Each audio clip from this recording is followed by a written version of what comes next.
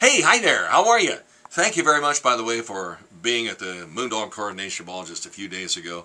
One of the biggest crowds ever, and I could tell from, although when you're up there emceeing, we can't see all that much because those spotlights are like blinding us, which is a good thing because I'm looking at 10, 11,000 people. I would get nervous out there, but it was just a great show. Grassroots, loved those guys since their first hit way back a long time ago in the 60s.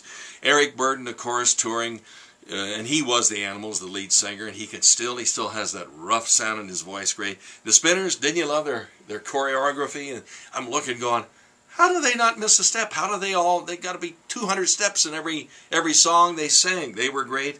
Felix Cavaliere, the Rascals, got a chance to talk to Felix in the in the, the commissary, the lunchroom, and he's just a wonderful, wonderful guy. All the Rascals, of course, in America. Have not seen those guys since Blossom in 1973.